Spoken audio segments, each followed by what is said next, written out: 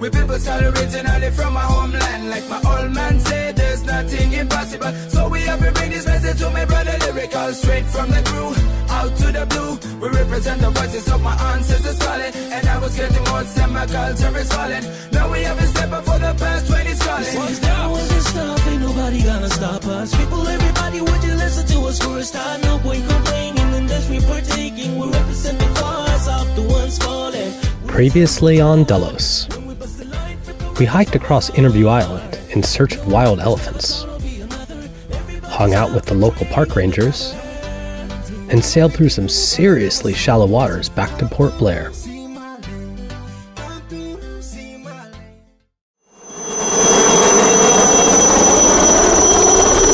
Uh, probably because us girls are like standing, sitting like this. So that was the second lap. So I think they're probably gonna come back again.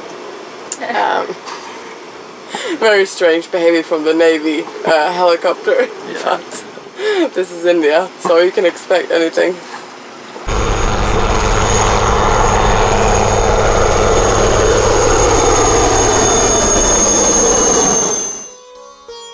We just arrived back to Port Blair and anchored just outside the main harbor at Ross Island.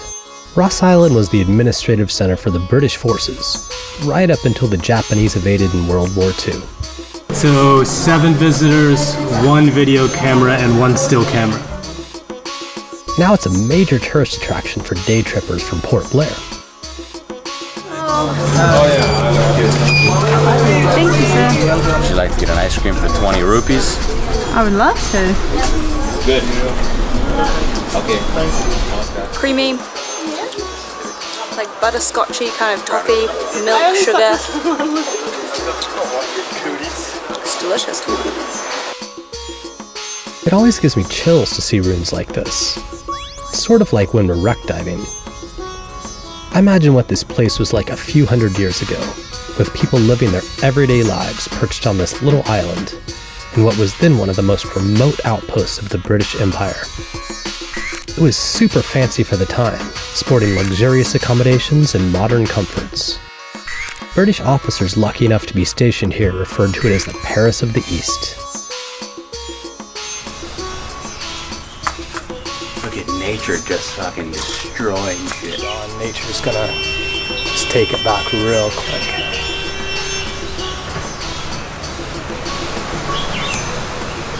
Like these these buildings were first built late late 1700s, so 200 years, and this is like already demolished by trees and shit.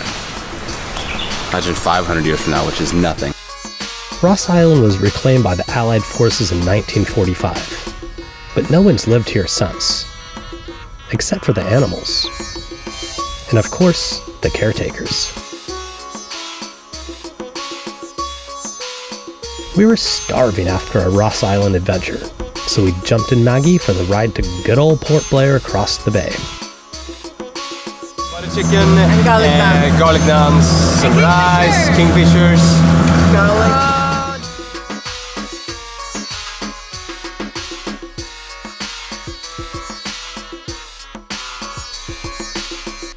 And that's when this random dude named Santosh pulled up a chair and started showing us pictures on his phone of sweet beaches and killer fishing. Our last week in India was gonna be a good one.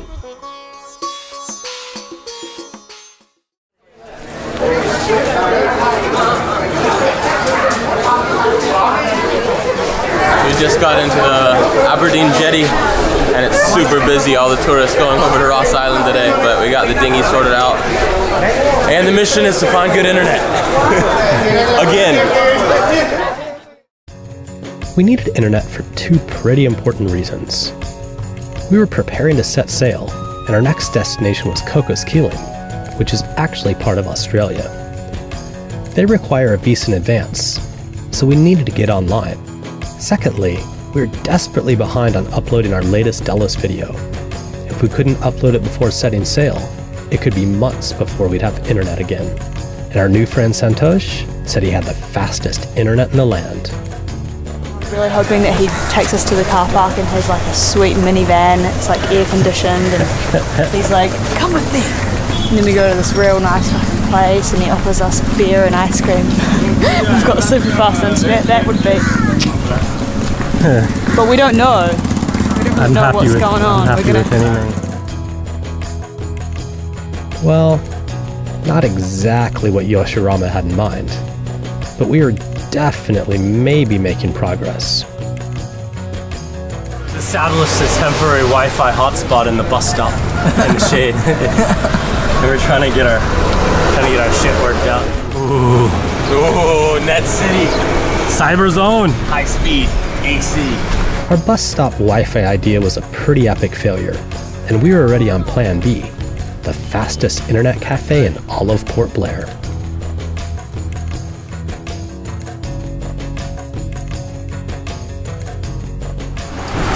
How's it going in here, Max? Very good. Your internet hole. Yeah, I just got the first visa done Oh, good. after like one hour of trials and fails and trials. So uh, we're in the internet cafe, and our friend Santosh here got us pizza delivery. Nice chicken with olives and onion. It's goodness. So how do we do? Oh man, that internet took all the energy out of me. It took like five hours to get done. About 15 minutes of work, I think. So 20 minutes of work. very fast, Hey, very fast. very fast. yeah, right. Oh, and the Delos video? Well, we gave up on that one. With the upload time topping seven days, our chances of success were pretty slim. So it was on to Plan C a cheapo USB snail mailed to a friend in the USA. FedEx had been deserted for who knows how long. I'd never heard of Blue Dart, but Santosh said they were pretty cool. We handed over our precious USB and crossed our fingers. Five days later, the package arrived safe and sound in California, where it took only 15 minutes to upload. Only in the Andaman Islands, land of bureaucracy and faxing, would international snail mail to America be faster than the internet. Oh, it's good music, man. Our month long circumnavigation of the Andamans had drained our diesel. Our mission was to top up the tanks before the big sail to Cocos Keeling. But here in India, nothing is simple. There is a labor strike, so we couldn't get any fuel delivered. To make matters worse, the pesky customs guys wanted to charge us extra tax on any fuel we purchased. So we made some under the table arrangements to get things sorted after dark. So it turns out that there's not only a labor strike today, but what we're doing is kind of like under the radar from customs. So we have to do this kind of in the evening after dark, sneak in, get the fuel out of the back of the truck, and then get out. So.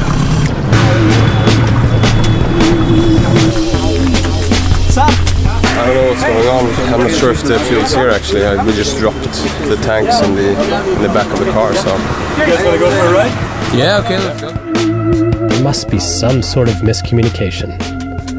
So we were off to the station to sort it out on our own.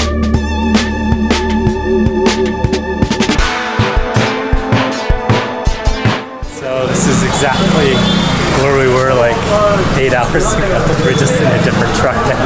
We have a massive 210 liter drum that there's no way we can carry. And uh, so we're gonna try and figure out a way to get this off and then back to Delos somehow, which I think is gonna ultimately involve a lot of siphoning because nobody has a pump either. There's talk of tires. There's a talk of a tire involved, so we're gonna have to see how that goes. Here he comes! Ladies and gentlemen, please welcome the captain of Delos, Mr. 100 rupees. Ryan. 100 rupees only. All this here. So we've got that tires. heavy, heavy thing right there. Yeah, got, it's gonna be interesting, I think. we've got some tires. And uh, we're gonna get it off the back of the truck. It's about 450 pounds. Okay. Yeah, that's nice. One, two, three, way, go. Okay, easy. And rolling it off the back. I think just slide it like It's fine. it's gonna, gonna count, you know? It's a heavy one. So you Okay. Yeah. Two. Here you go. Watch your. Let it go. Yeah, it's fine. Okay, it's fine. Woo! You. Oh, nice. Piece of cake, man. Good one. Good okay, one. okay, drop it down.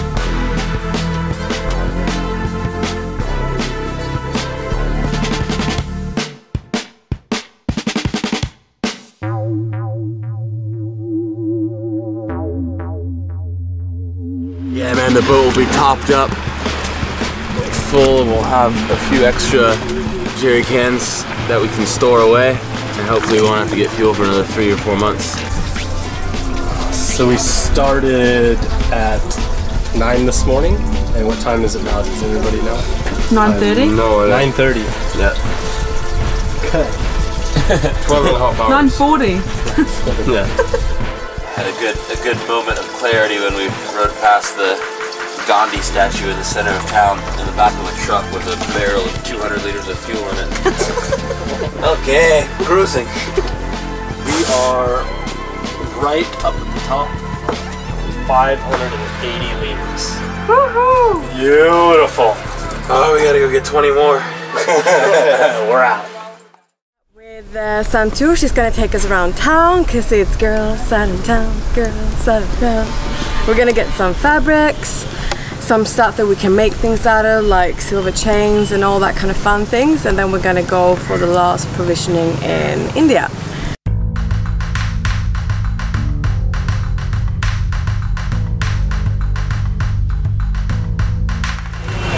Well, that was crazy. It was like a store the size of a shoebox, and there was like 20 people, and they're all crammed in there trying to fucking buy this and buy that, and two meters of this and five meters of that. Oh, I have a big bag full of goodies, and it was only the equivalent of like $20, so super cheap. Bargain. We're happy.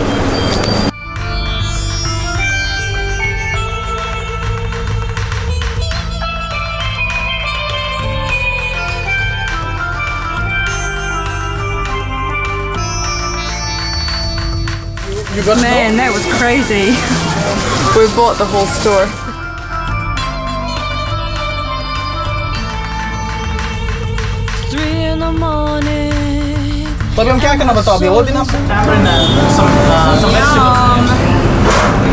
Okay.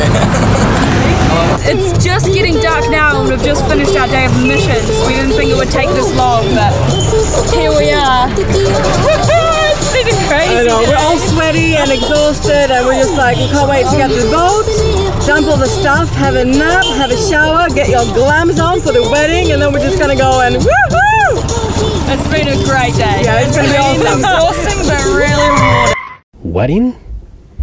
What you talking about, Frida? ना okay okay सुनो मेरी बात सुनो He's calling out to us, मेरे दोस्त लोग if सब we आएंगे can बोलते go, हैं but we can't हम come. लोग I'm गिफ्ट sorry. भी ले लिया हाँ गिफ्ट भी ले लिया हम लोग गिफ्ट भी ले लिया हाँ ठीक है ना हाँ हम लोग आ जाएगा हम लोग आ जाएगा बताओ मेरे को हम इधर ही हैं I asked Santush if there will be an Indian wedding the next few days, and he said yes, there will be tonight, one o'clock, because um, the spiritual uh, man told the couple that one o'clock will. Um, that's when the wedding will start. So we're going there tonight, and there will be like three, four hundred people. We're gonna wear the saris, and we're gonna go with him, and we're gonna shake it. And we got, we're gonna bring a gift as well. Frida's so excited. Oh, really? Let's pick pick the phone. Uh, You gonna bring your camera?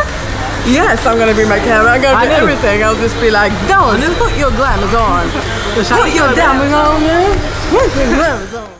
Got on my finest tie pants, my cleanest shirt, with only a few stains. I've not showered, but I gave up on that long ago. Woo!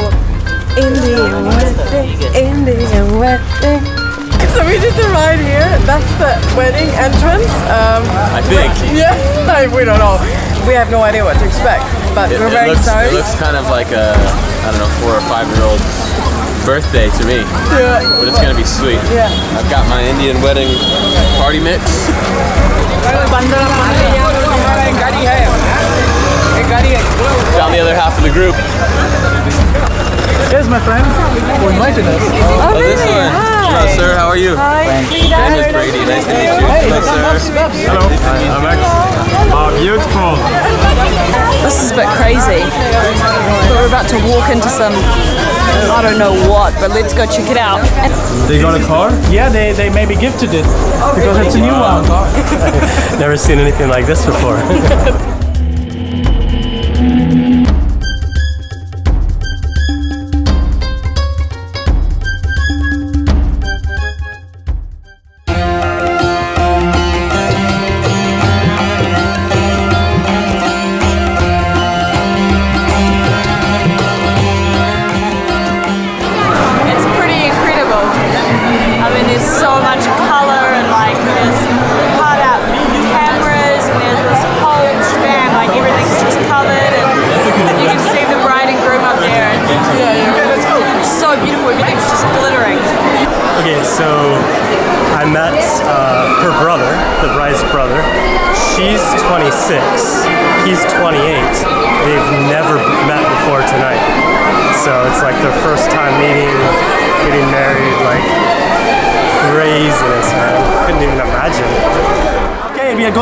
for buy a wedding gift as a present because you know they might consider it.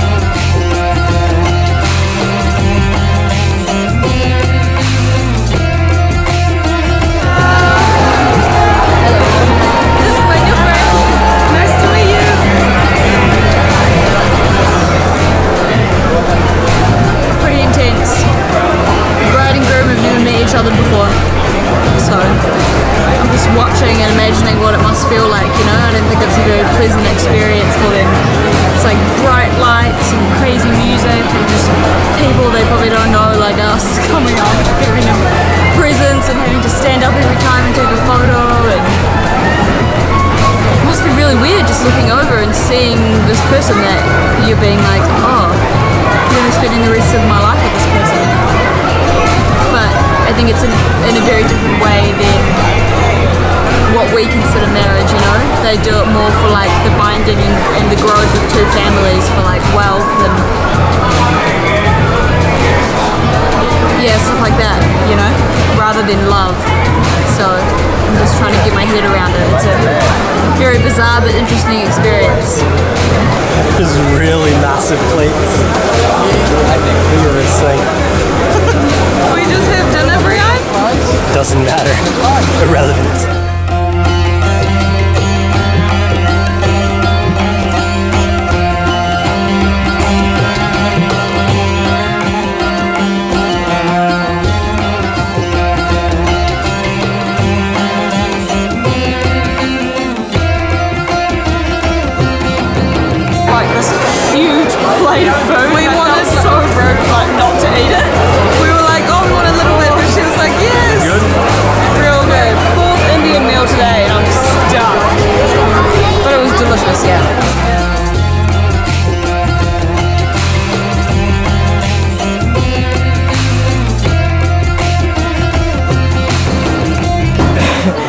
Something fell down and it went all black. I don't think it's, it's something wrong with the electricity or something.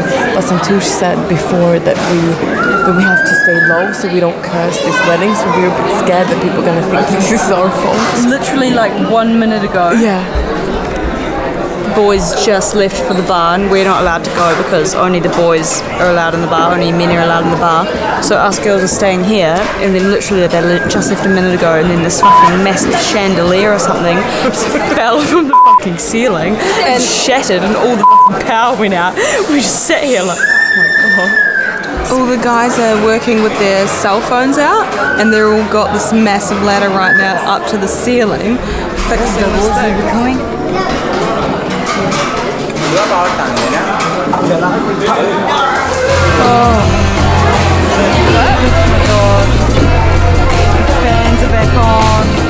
We asked Santosh why none of the guests hung around. It was pretty much give your gift, take a picture, eat, and then bolt. He said the less time you spend here, the less chance you have to do something stupid and curse the marriage.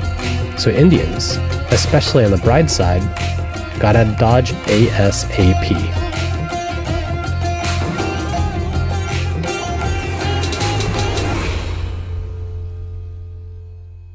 We clear. Say eh? pick up the pick 'em up anchor. I should say them. Yeah, you gotta yell at pick 'em up anchor. Pick up the anchor. Yeah, there you go. Okay. Okay. Captain, picking up the anchor, sir. And then they're gonna tell you Okay. which way to drive the boat. Okay, so now we need to go forward. Okay. So we're take, gonna take this lever and just push it forward until it engages. Okay. There you go. Okay, and you say forward. Okay. Yell it to them so they know. Forward. It's like a dream. Yeah, it's like a dream, really. Okay, the anchor's up. okay. So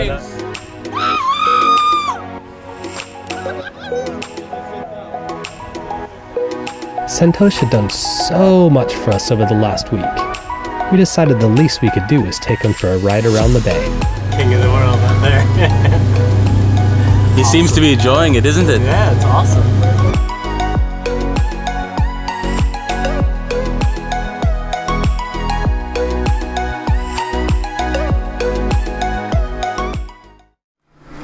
What's the mission, bro?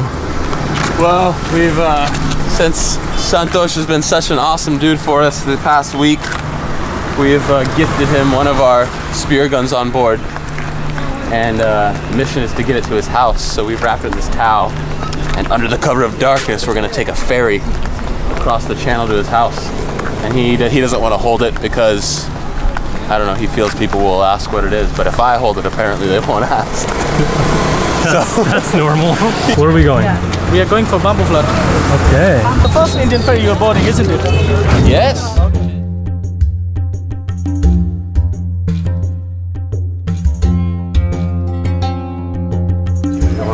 It's a good view, bro. Got a bunch of bikes coming in.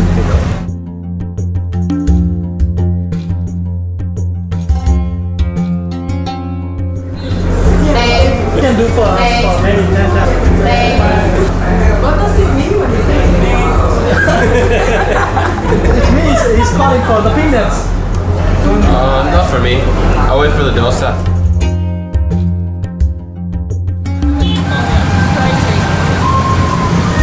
Made it to the other side. Woo. This will be okay. Let me tell you first of all, it would be crowded. Yes. They're gonna talk a shit. Okay. You don't have to concentrate on them. We have just have to look our beer, get the beer, and that's it. Okay, is it okay if I film? Yeah, it's okay. Camera बंद करो Yes. ठीक है और English और Hindi English है Okay, Yes, sir. और Hindi Yes. You can go Thank you, sir. I told you. Yes. It's okay for me. this is a bachelor alcoholic club, BAC for short. Strictly men only. It's basically just a bunch of dudes getting wasted before heading home. Okay, close it down. Okay. Success. It's a kind of nice, isn't it? yes. Meanwhile, we're chatting it up with the super drunk guys that had just stumbled past Brady on the stairs. Facebook.com. Okay, sir. SV Delos. Okay, sir. I will get. And then you will find us. Okay. Do you have a card? Yes. So we just they just came up to us and were like, oh hi, where are you Very from? nice, sir. Who are you? And Brian said he's from But, uh, America. And, very oh, I smart. really want to go to America. I really want to go there. Yeah.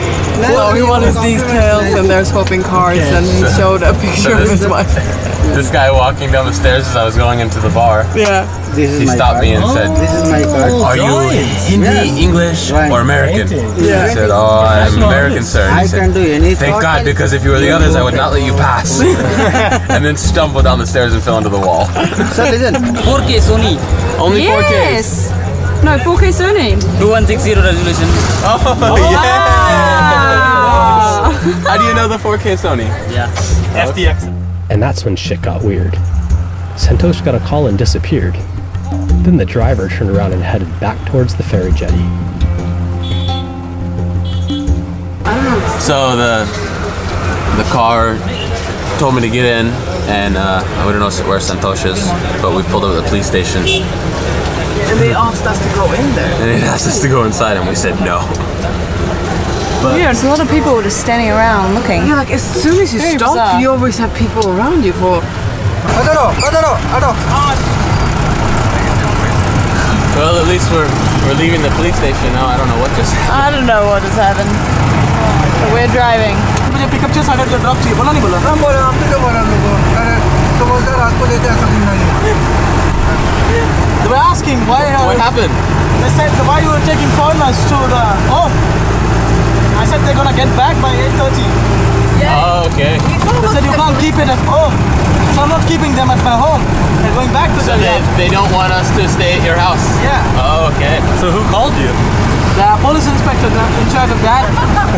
I don't fright from anyone. I told you. I said, what the hell is that? Just our presence here as foreigners on the other side of the bay had created a stir.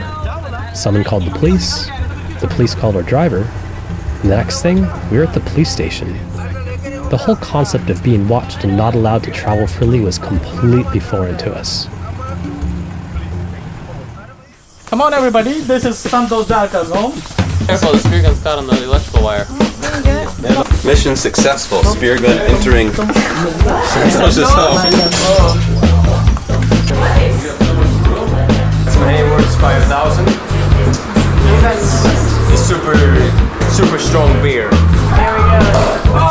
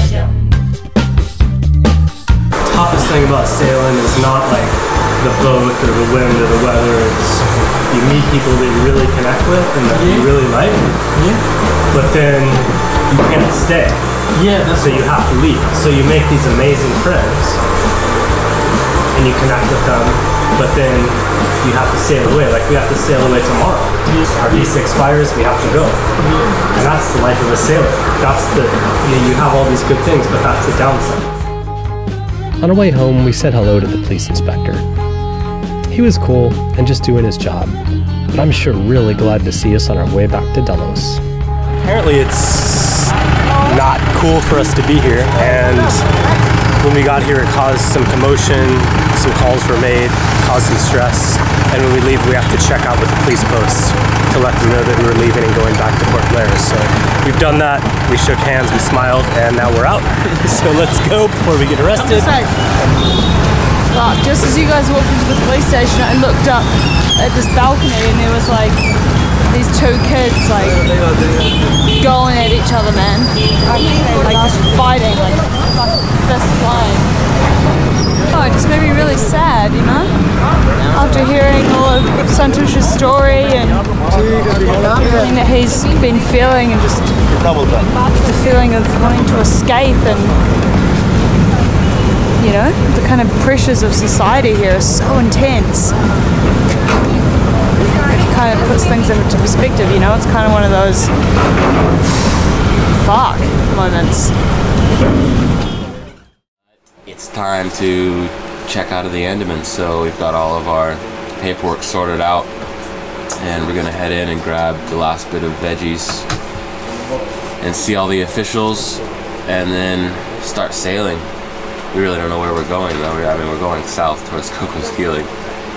Could take a week, could take two weeks, could take three weeks, but at least we'll be away from land for a while.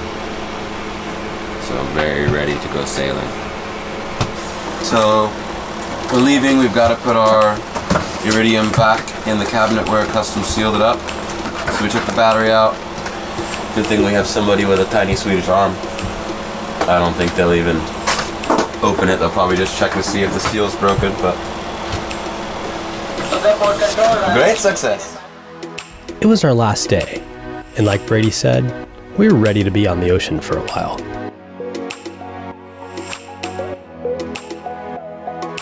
Checking out went super smooth. Even the customs dudes completely forgot about our iridium and just handed over the outward clearance. The only hitch was with port control, and they were being a bunch of dicks. Earlier that day, Santosh had come out to say his goodbyes. He even brought us takeaway butter chicken from our favorite restaurant as a little going away gift. Port control somehow found out about it and went so far as to accuse Santosh of trying to smuggle things out of the country.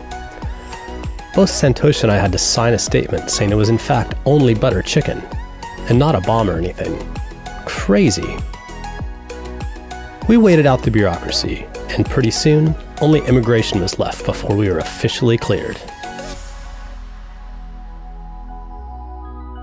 This is the final step. We've got the gentleman for immigration here. and as soon as they stamp our passports, then we are free to go and sail to Australia. what do you say, guys? All is good? All is well? All is well. All is well. Yes. He's just trying to find us on Facebook first.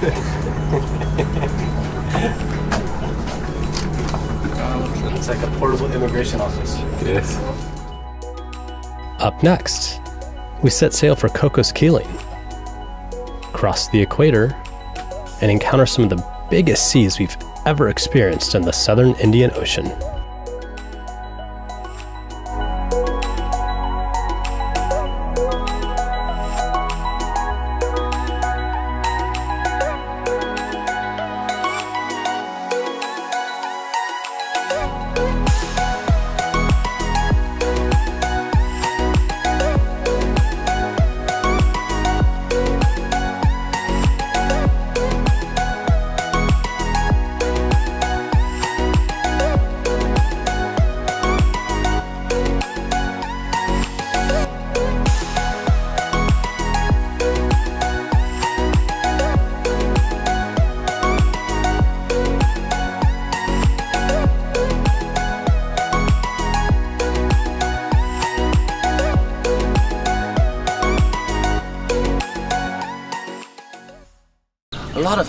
Of time and effort was made. I Can't, because I can't keep fucking reading the sign.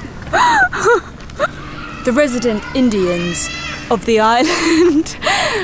I can't fucking read it. You're sitting in the way.